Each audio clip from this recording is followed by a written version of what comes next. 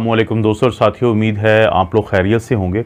मैंने जो last video बनाई थी, उसका मौजू ये था कि जो दिल का अटैक क्या होता है और उसको फिर कैसे इलाज किया जाता है।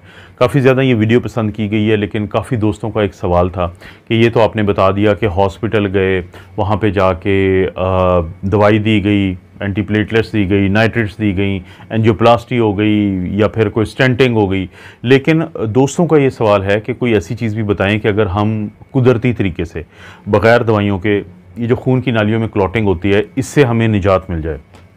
तो ये वीडियो बुनियादी तौर पे एक ऐसे नुस्खे के बारे में है जो आपको मदद करेगी आपकी खून की नालियाँ, जिसको हम आर्टरीज कहते हैं, उनके अंदर जो क्लॉटिंग होती है, क्योंकि वो जो क्लॉटिंग है, उसको हम मेडिकल की टर्म में एथ्रोसिक्लोरोसिस कहते हैं।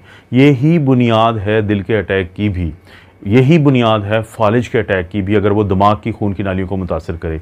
यही बुनियाद है पल्मोनरी एम्बोलिज्म की, अगर एथ्रोसिक्लोरोसिस या वहाँ से टूट के जाने वाला टुकड़ा जो है, वो आपके फेफड़ों को मुतासर करें।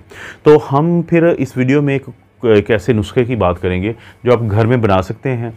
चीज़ें ऐसी इस्तेमाल होती हैं कि, जिनको आप घरों में आपको मिल जाएँगी, बाज़ार से जाके मिल जाएँगी, और आप अगर चौदह दिन के लिए अगर आप इसको इस्तेमाल करेंगे तो बहुत ज़्यादा लोगों को फ़ायदा होता है। लेकिन डिस्क्लेमर मेरी हर वीडियो में आता है कि आपका जो असल डॉक्टर है, वो वही है जो आपका बुनियादी डॉक्टर है। ये वीडियोज़ होती हैं इन्फॉर्मेशन के लिए। इसलिए अगर किसी को खुदा न खासा दिल का अटैक है चेस्ट पेन है, सांस चढ़ता है तो अपने डॉक्टर से रबता करें। और इसी तरह से अगर कोई खून पतला करने वाली दवाइयाँ भी ले रहे हैं तो वो इस नुस्खे के इस्तेमाल से पहले अपने डॉक्टर से ज़रूर बात कर लें क्योंकि ज़ाहिर है कि जो नुस्खा खून की नालियों से क्लॉट से निजात दिलाएगा तो वो खून को पतला भी करता है, ताकि कोई इंटरेक्शन ना हो। तो अगर हम बात करें इस नुस्खे की तो इसमें जो सबसे पहले आपको चीज़ चाहिए होती है, वो है एप्पल या सेब।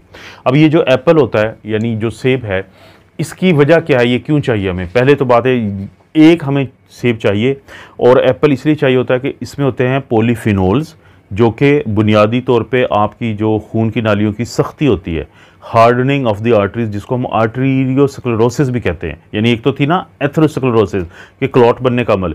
लेकिन क्लॉट उन नालियों में ज़्यादा बनता है जिनमें आर्टीरियोस्क्लेरोसिस होता है तो उसको कम करता है। इसके अलावा जो हमारा लो डेंसिटी लिपोप्रोटीन कोलेस्ट्रोल होता है, यानी एलडीएल कोलेस्ट्रोल है, वो ख़तरनाक उस वक्त हो जाता है जब उसकी ऑक्सीडेशन होती है।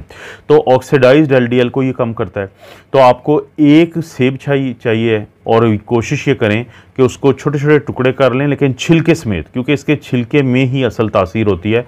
आपने इसका छिलका नहीं उतारना, ये पहली चीज़ चाहिए।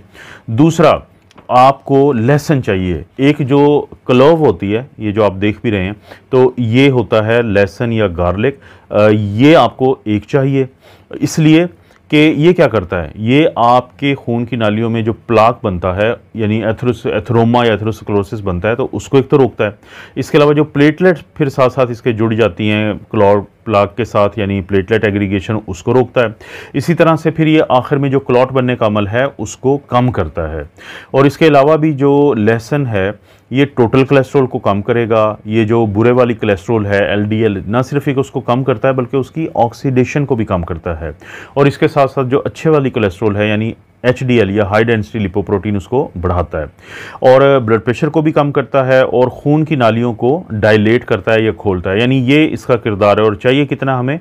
बनाने का तरीका मैं बिल्कुल आखिर में बता दूँगा। बस आप नोट करते जाएँगे कितना चाहिए होता है। तो एक क्लोव या एक ये जो चाहिए होती है, ये जो आप देख रहे हैं। तीसरी जो चीज़ हमें चाहिए वो है हल्दी हल्दी या टर्मेरिक अब जो हल्दी होती है इसका भी आपने एक छोटा सा टुकड़ा ले लेना है।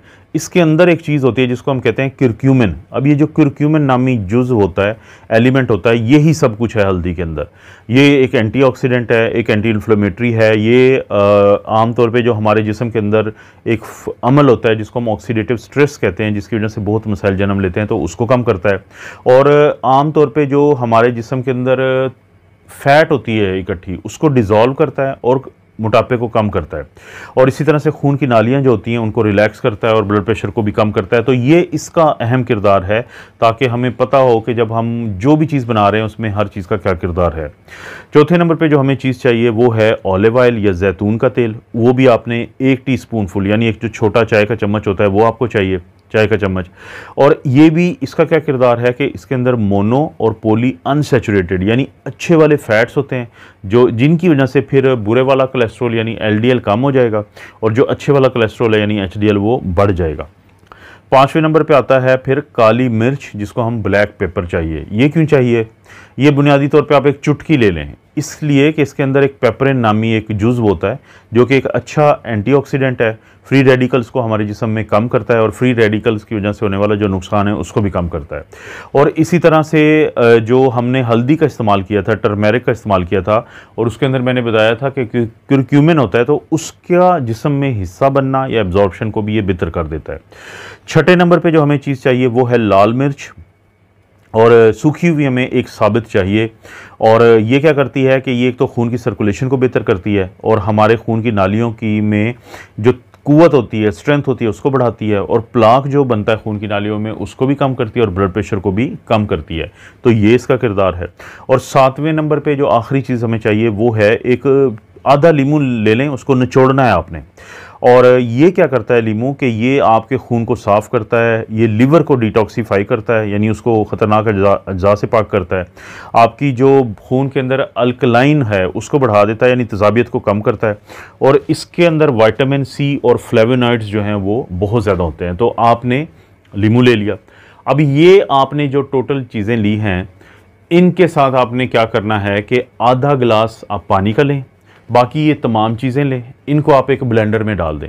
उस ब्लेंडर में डालने के बाद उस ब्लेंडर को पाँच से दस मिनट तक के लिए आप ब्लेंड करें इन चीज़ों को, और उसके बाद जो चीज़ बन जाएगी उसको आप गिलास में डालें, और सुबह के वक्त, नाश्ते से पहले भी ले सकते हैं और नाश्ते के बाद भी ले सकते हैं। और उसके बाद हम कहते हैं ये हैं कि आप कोशिश करें कि सात दिन के लिए लें, दरमियान में सात दिन का वक्फा डालें और फिर सात दिन के लिए लें।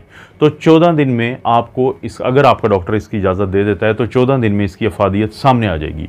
बहुत सारे लोग इसको चौदह दिन लेते हैं सिर्फ़, और बहुत सारे लोग इसको इसी तरह रिपीट करते जाते हैं तीन चार महीने के लिए, और आहिस्ता आहिस्ता उनको इस चीज़ का फ़ायदा नज़र आता है।